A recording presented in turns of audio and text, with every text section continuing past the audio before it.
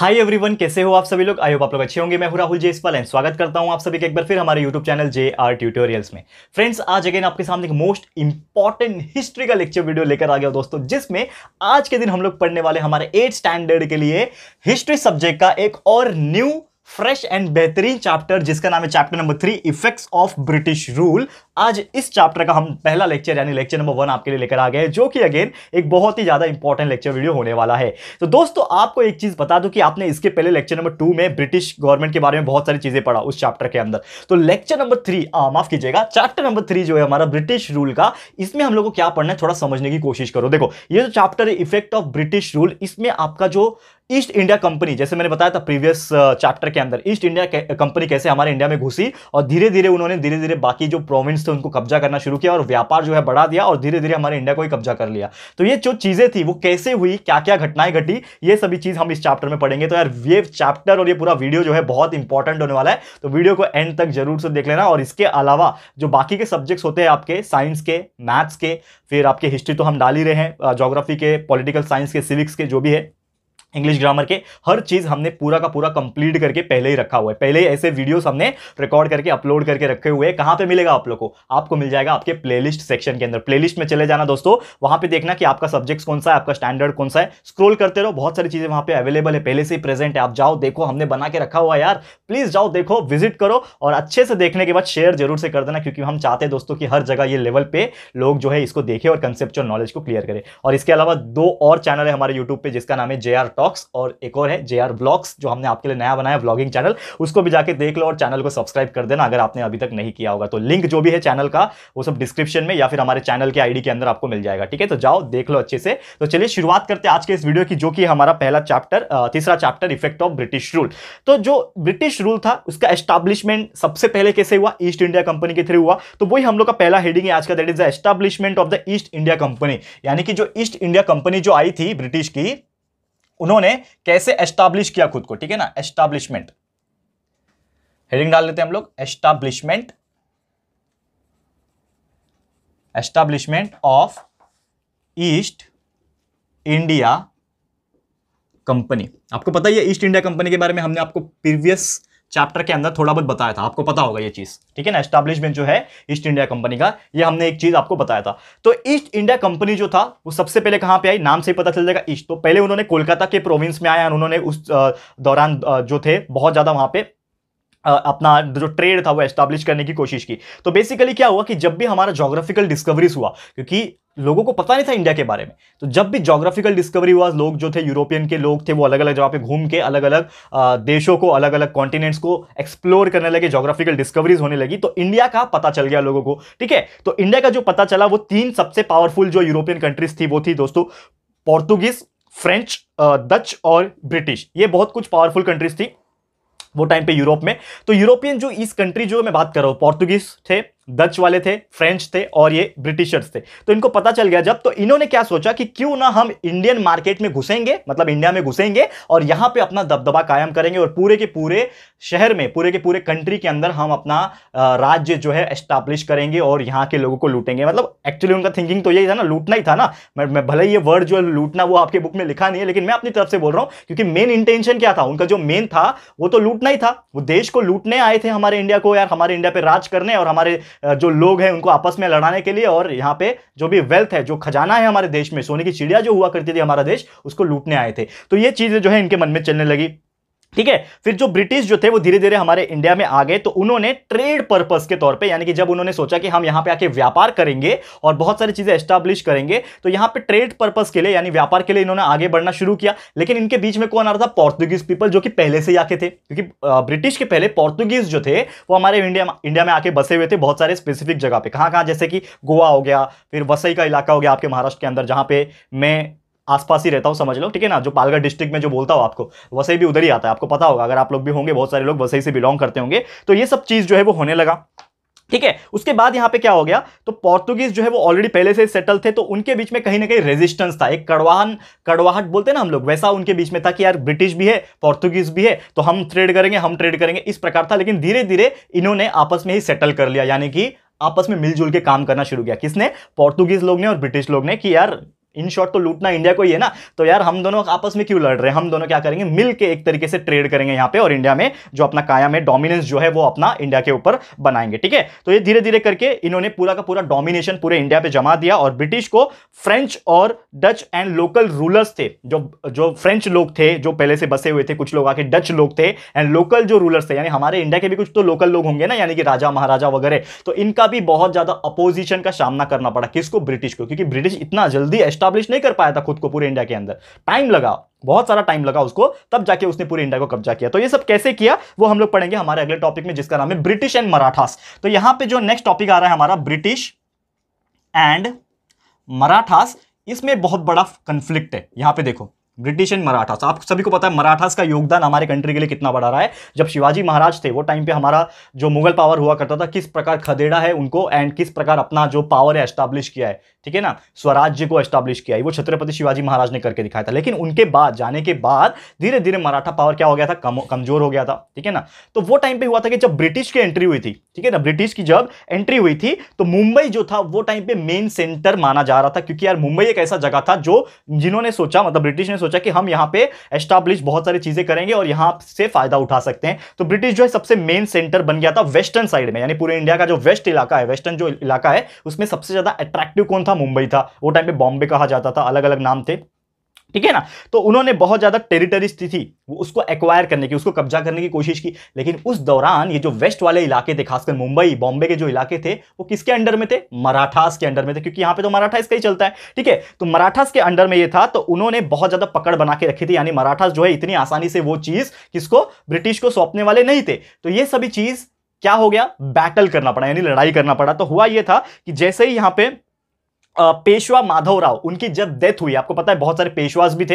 हमने पढ़ा है हिस्ट्री में बहुत सारे शिवाजी महाराज के बाद, ठीक है ना? तो मराठा जो एम्पायर था, उसमें बहुत सारे पेशवा भी आके रहे। तो पेशवा जो माधवराव थे, उनकी जब डेथ हुई तो उनके जो अंकल थे, रघुनाथ राव, ठीक है ना? उन्होंने ब्रिटिश को अप्रोच किया, ब्रिटिश के पास गए, क्योंकि उनको लालच था कि मैं पेशवा बन जाऊँगा। तो उनको लालच की वजह से इन्होंने ब्रिटिश के साथ एक डील कर ली कि मैं आपकी मदद करूँगा, लेकिन बदले में मुझे आप पेशवा बना देना। तो ये ब्रिटिश भी किसी के सगे नहीं होते। ब्रिटिश ने भी सोचा, क्यों ना इसका मैं फ़ायदा उठा लू और यहाँ पे कब्जा कर लू। तो यही चीज़ हुआ सेम तो हुआ ये था कि जो पेशवाशिप के लालच में जो रघुनाथ राव जो थे, उन्होंने यहाँ पे ब्रिटिश को बहुत ज़्यादा हेल्प किया एंड उसको अंडर में आने दिया, यानी कि मुंबई में आने दिया। तो इसी की बदौलत जो ब्रिटिश थे धीरे धीरे उन्होंने क्या कर दिया कि पूरे के पूरे मराठा पॉलिटिक्स के ऊपर अपना दबदबा बना लिया और पूरा कब्जा कर लिया, ठीक है? एंड 1774 से लेके 1818 तक दौरान, उसके दौरान क्या हुआ? देखो 1774 से लेके 1818 इस दौरान, ये जो ईयर था, इसके दौरान क्या हुआ कि एक लड़ाई लड़ी गई थी मराठास के बीच में और ब्रिटिश के बीच में, ठीक है ना? मराठास जो थे, ठीक है ना? जो मराठास जो बचे हुए थे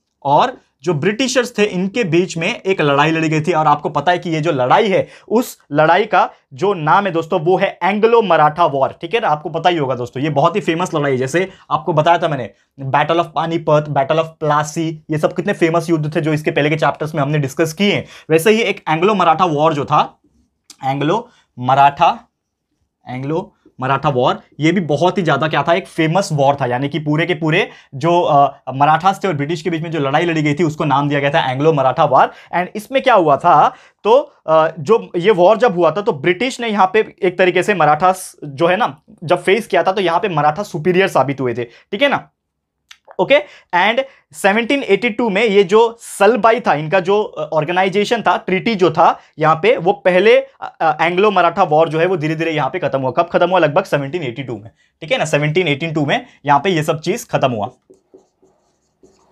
ठीक है? ये एंग्लो मराठा वॉर जो है पहला यहाँ पे खत्म हुआ। उसके बाद आया यहाँ पे सब्सिडायरी अलायंस यानी कि लोगों ने मिलकर अपना गवर्नमेंट गवर्नमेंट नहीं बोलूँगा, लेकिन अलायंस बोलते हैं ना, मिलजुल के गठबंधन करना, वैसा वाला यहाँ पे शुरू किया। तो हमारा अगला टॉपिक यहाँ पे है सब्सिडायरी अलायंस तो इसमें क्या हुआ? ये हम चीज़ यहाँ पे देखेंगे। सब्सिडायरी अलायंस में क्या हुआ? हम लोग इसके ऊपर नज़र डालते हैं। ओके? ध्यान से देख लेना। इसको मैं रफ करता हूँ। नेक्स्ट टॉपिक है हमारा subsidiary alliance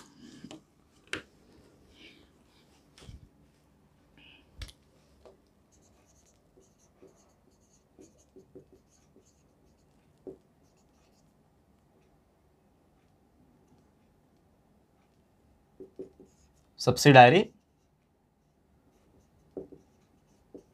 alliance. Okay तो ये जो सब्सिडायरी अलायंस है, इसमें क्या क्या चीज़ें हुए थे? तो अगर बात करें नाइनटीन सेवनटीन में 1798 में जो लॉर्ड वेलेसली थे, ठीक है ना? इनका नाम मैं लिख रहा हूँ यहाँ पे। लॉर्ड वेलेसली जो थे, वो इंडिया में आ गए थे एज ए गवर्नर जनरल यानी कि ब्रिटिशर्स थे। तो जब ब्रिटिश की गवर्नमेंट एस्टैब्लिश होने लगी तो वहाँ पे जो लॉर्ड वेलेसली थे, इनका नाम मैं मेंशन कर देता हूँ, लॉर्ड वेलेसली, ठीक है ना? लॉर्ड वेलेसली थे, वो एज ए गवर्नर आपको पता है हमारे इंडिया में भी गवर्नर होते हैं अलग अलग स्टेट हमारे इंडिया के, ठीक है ना? तो यहाँ पे एज ए गवर्नर जनरल जो है, वो यहाँ पे इंडिया में अराइव किए और उनका जो मेन मोटिव था, ये जो इंडिया में आए थे, इनका मेन मोटिव क्या था मेन तरीका क्या था आने का? मकसद ये था कि वो ब्रिटिश को डोमिनेशन करवाना चाहते थे पूरे इंडिया के ऊपर, क्योंकि वो जो थे ना, थोड़े से मतलब बोलते ना, षड्यंत्रकारी, अकड़ू भी थे थोड़े। तो उन्होंने बोला कि यार, अभी तक ब्रिटिश ने पूरे इंडिया के ऊपर कब्जा नहीं किया है। हमारे पास पावर है, हमारे पास मिलिट्री है, हमारे पास पैसा है, हमारे पास बल है तो हम जो है पूरे इंडिया के ऊपर क्या करेंगे डोमिनेट करेंगे, ऐसा उन्होंने सोचा था, इसीलिए वो हमारे इंडिया में आए थे। ठीक है ना? तो उन्होंने पूरा डोमिनेंस जमाने की कोशिश की और उन्होंने बहुत सारे सब्सिडायरी अलायंस ठीक है जो सब्सिडारी अलायंस जिस, जो टॉपिक है हमारा, वो बहुत सारे लोगों के साथ मिलजुल के साइन किया। खासकर इसमें कौन शामिल था? इंडियन रूलर्स क्योंकि यार हमारे इंडियन जो रूलर्स थे, उनको पॉलिटिक्स के बारे में पी भी नहीं पता था, लेकिन जो ये ब्रिटिशर्स थे, ये बहुत ही चालाक किस्म के लोग थे। तो ये जो थे, वो इंडियन रूलर्स यानी इंडिया के जो शासक थे इंडिया के जो राजा महाराजा जो हुआ करते थे, जो प्रोविंस के, जो प्रिंसली स्टेट्स के प्रिंस हुआ करते थे, उनको अपने साथ लेके, लालच देके, अपने साथ लेके पावर का लालच देके, उनको अपने साथ ले लिया और एक तरीके से सबसे डायरी अलायंस यानी कि एक तरीके से गठबंधन बना लिया। उसके बाद क्या हुआ कि ये अलायंस में जो इंडियन रूलर्स थे ना, उन्होंने एक तरीके से एश्योरेंस ले लिया कि जो ब्रिटिश का जो मिलिट्री है ना, उसको प्रोवाइड किया जाएगा। यानी कि आपके ऊपर अगर कुछ भी होता है तो ब्रिटिश मिलिट्री उसको हेल्प करेगी और आपको भी बदले में हमें हेल्प करना पड़ेगा। तो ये सब चीज़ें होने लगा, ठीक है? तो कुछ कंडीशंस रखी गई थी ये सब चीज़ के ऊपर। जो इंडियन रूलर्स थे, वो ब्रिटिश आर्मी के साथ उन्होंने क्या किया था? ये चीज़ मेंटेन कर लिया था कि आप हमें बदले में धन दे दो, हम आपको यहाँ पे सपोर्ट प्रोवाइड करेंगे। तो इस प्रकार जो ये चीज़ें है, वो होने लगा था। ठीक है ना? और धीरे धीरे ये सब चीज़ होने लगा। तो रूलर जो थे ना, वो टाइम पे कोई भी अलायंस या फिर कोई भी पावर में यहाँ पे नहीं थे।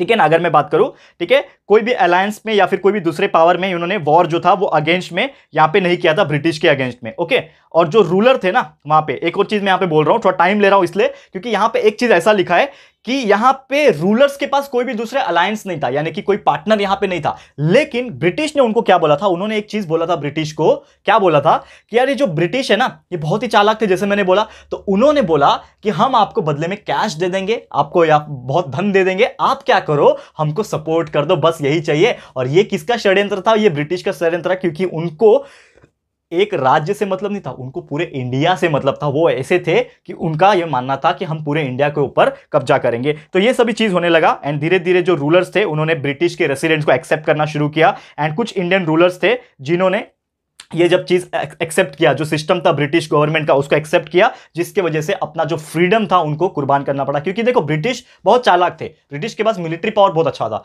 तो जब ब्रिटिश ने बोला कि आप हमें सपोर्ट करो एक पर्टिकुलर जगह पे अलग अलग जगह पे लोग जाते थे, क्योंकि हम, उनको पता है कि हम एक ही साथ पूरे इंडिया को कब्जा नहीं कर सकते। हमको पहले धीरे धीरे जाना पड़ेगा, ये स्टेट में जाना पड़ेगा, फिर ये स्टेट में जाएँगे, ये स्टेट में जाएँगे अलग अलग ऐसे प्रिंसली स्टेट में ऐसे जाएँगे रूलर्स के पास एंड धीरे धीरे इनको अपने कब्जे में ले लेंगे। तो जब रूलर्स के पास जब जाते थे तो ये क्या करते थे? लालच देते थे। और जो रूलर्स होते थे, वो मान जाते थे, चलो ठीक है, हम आपको सपोर्ट करेंगे। लेकिन इसके वजह से जो रूलर्स होते थे ना, उनका फ्रीडम चला जाता था, क्योंकि ब्रिटिश कंडीशन रखते थे कि हम जैसा बोलेंगे, आपको वैसा ही करना पड़ेगा। तो ये जो चीज़ होती है दोस्तों, उसको क्या बोलते हैं हम लोग? फ्रीडम बोलते हैं क्या? नहीं, इसको फ्रीडम नहीं बोलते। फ्रीडम आज़ादी हमारे लिए क्या होती है? फ्रीडम ये होती है कि अगर हमको कोई कुछ बोले, हमारी मर्ज़ी हमको करना है तो करेंगे, नहीं करना है तो नहीं करेंगे। आपकी भी मर्ज़ी है। जैसे कि आपको बहुत सारे लोग कुछ भी बोलते होंगे तो आपके ऊपर है ना, आपको करना है तो करना, नहीं करना है तो मत करना, क्योंकि आप फ्रीडम हो आप इंडिपेंडेंट हो ना? वैसे ही ये टाइम पे जो रूलर्स थे, वो इंडिपेंडेंट नहीं रह गए थे, क्योंकि इनके ऊपर ब्रिटिश का दबदबा हो गया था। ब्रिटिश ने इनके ऊपर कंट्रोल ले लिया था। तो 1802 में क्या हुआ? 1802 में।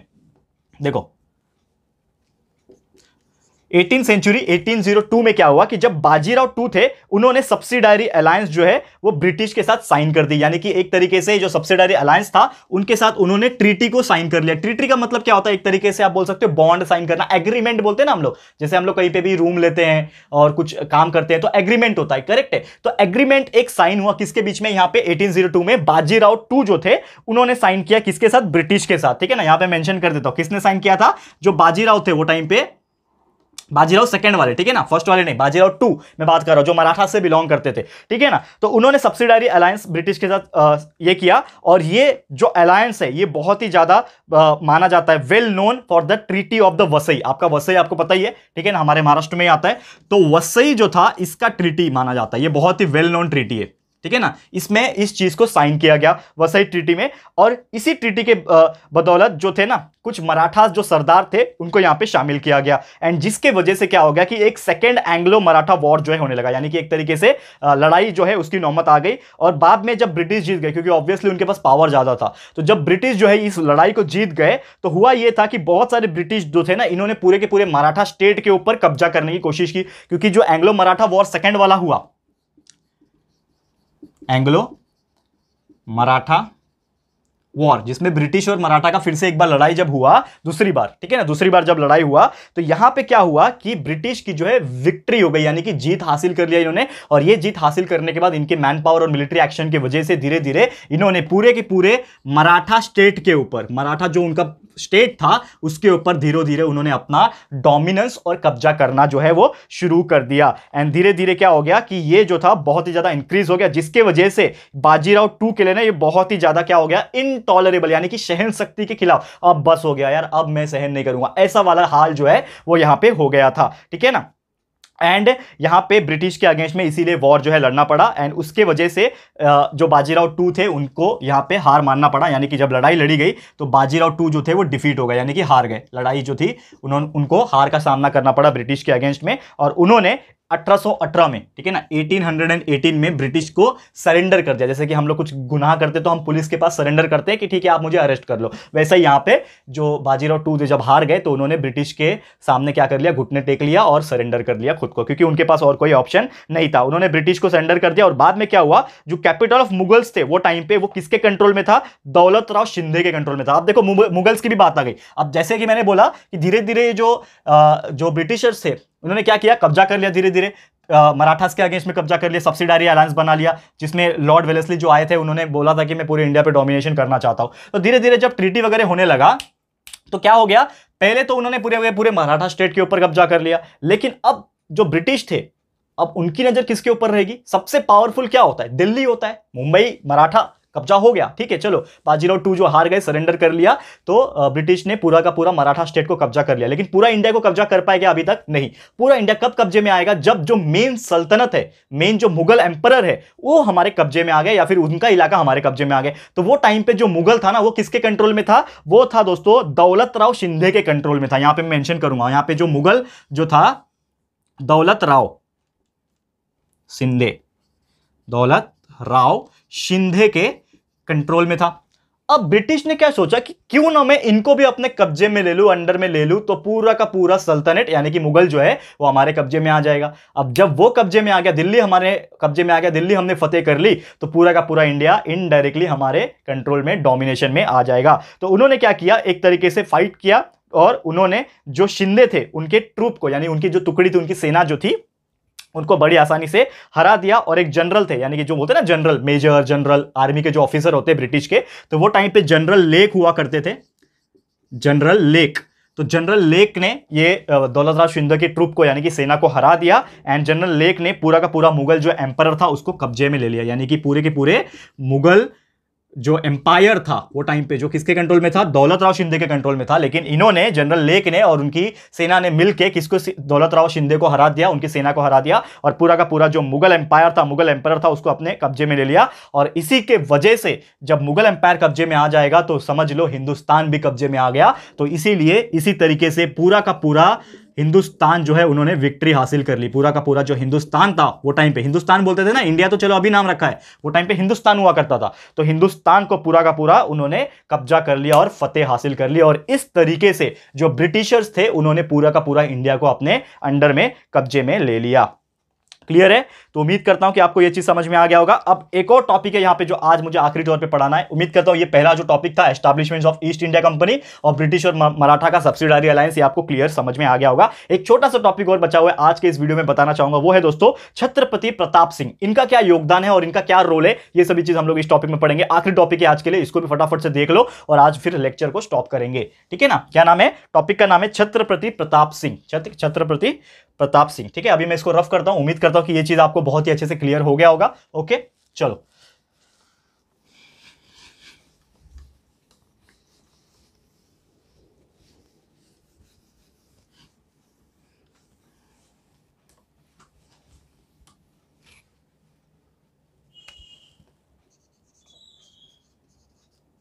छत्रपति प्रताप सिंह। ओके अब देखते हैं इनका क्या योगदान है और इनका क्या सजेशन एंड रोल था इसमें ये हम लोग देखेंगे।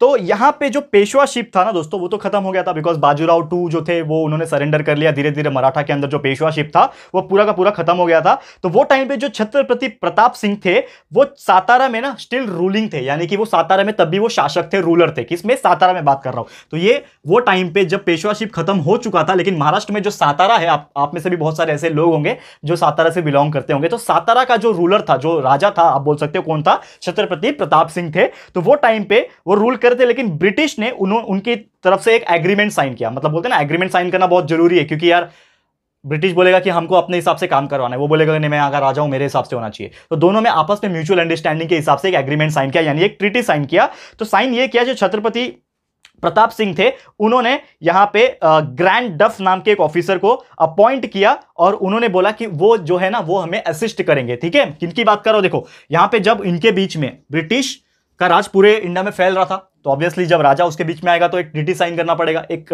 म्यूचुअल अंडरस्टैंडिंग एग्रीमेंट साइन करना पड़ेगा। तभी तो ये चीज़ होगा ना।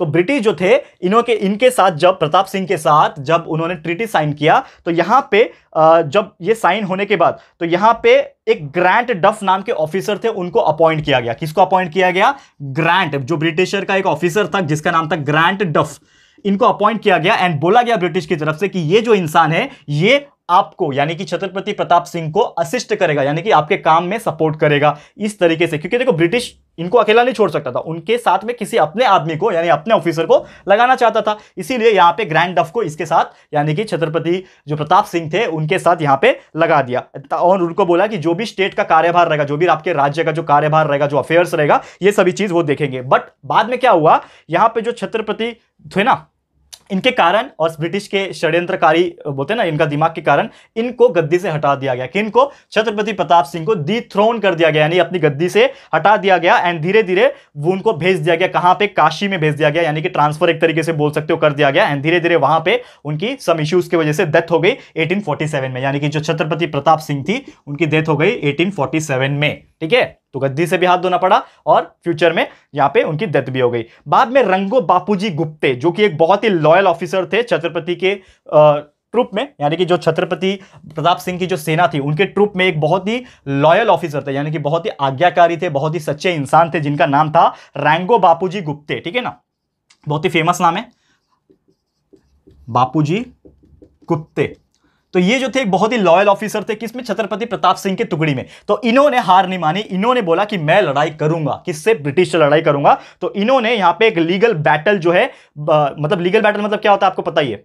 मतलब लड़ाई मतलब आमने सामने बंदूक वाली लड़ाई नहीं लीगल बैटल मतलब मैं कोर्ट जाऊँगा या फिर कुछ ऐसे मुकदमे करूँगा या फिर इस प्रकार के जो लड़ाई थी, वो यहाँ पे उन्होंने लीगल बैटल किया और इसके लिए वो कहाँ चले गए? इंग्लैंड में चले गए, क्योंकि ब्रिटिश आए कहाँ से थे? इंग्लैंड से ही आए थे ना? तो उन्होंने बोला कि मैं इंग्लैंड जाऊँगा और आपके खिलाफ जो है लीगल एफर्ट के तौर पर लीगल तरीके से कार्रवाई करूँगा, क्योंकि डायरेक्टली तो आपको मैं ये नहीं कर सकता, मैं पावरफुल नहीं हूँ, लेकिन मैं लीगल तरीके से ज़रूर जा सकता हूँ, क्योंकि गवर्नमेंट वो टाइम पर ब्रिटिश की थी, लेकिन वो किसके अंडर में थी? इंग्लैंड के अंडर में थी। तो ये चीज़ जो है इंग्लैंड के पास जब बड़े ऑफिसर के पास जाएँगे रिक्वेस्ट करेंगे और लीगल तरीके से ये मैटर को सॉल्व करने की कोशिश करेंगे तो शायद हो जाए। लेकिन इनका कहना जो था, मानना जो था, वो गलत हो गया। तो इनका जो पूरा मेहनत था, जो इंग्लैंड चले गए और लीगल एक्शन लेने की उन्होंने कोशिश की, ये कि पूरा का पूरा क्या हो गया? अनसक्सेसफुल रहा। बाद में जो लॉर्ड दल हाउसेस थे ना, आपको पता होगा, ये तो बहुत ही फ़ेमस ब्रिटिशर है, जिनका नाम है लॉर्ड देख लो यहाँ पे।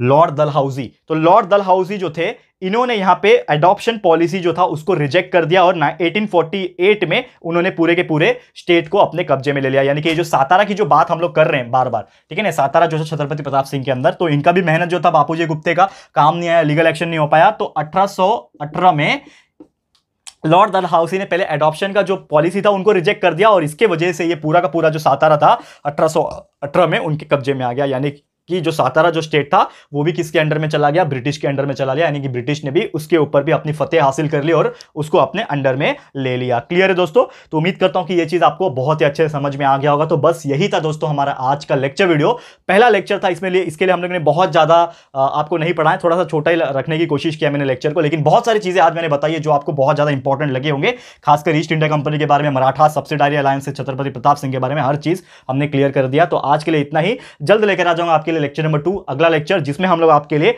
इफ़ेक्ट क्या है? ब्रिटिश रूल जो इंडिया में आया तो उसका क्या परिणाम हुआ? क्या क्या इफ़ेक्ट देखने पड़े हमारे इंडिया में के लोगों को? क्या क्या चीज़ें सहनी पड़ी? ये सभी चीज़ें हम डिस्कस करेंगे आने वाले लेक्चर नंबर टू में। तो बहुत इंपॉर्टेंट अगला लेक्चर होगा लेक्चर नंबर टू तो उसको बहुत ध्यान से देखना, अच्छे से देखना, आपको सब चीज़ क्लियर हो जाएगा। तो इसी के साथ आज का वीडियो समाप्त करता हूँ कि ये वीडियो आपको कैसा लगा दोस्तों? प्लीज़ हमें कॉमेंट करके बताना है अपनी राय और सजेशन ज़रूर से देना है दोस्तों। और अगर आपको ये वीडियो अच्छा लगा है, पसंद आया दोस्तों तो प्लीज़ ये वीडियो को लाइक कीजिएगा। शेयर ज़रूर से कर देना अपने सारे फ्रेंड्स एंड रिलेटिव को फटाफट से शेयर कर दो एंड बता दो यार कि कितना मेहनत कर रहे हैं हम उनके लिए। तो प्लीज़ शेयर कर दो एंड साथ ही में अगर आपने बेल आइकन को प्रेस नहीं किया है और साथ में आपने चैनल को अगर सब्सक्राइब नहीं किया है तो सबसे पहले चैनल को सब्सक्राइब कर देना और बेल आइकन को हिट कर देना क्योंकि फ्यूचर में हम कोई भी वीडियोस को अपलोड करेंगे तो आप लोग को नोटिफिकेशन मिलती रहेगी।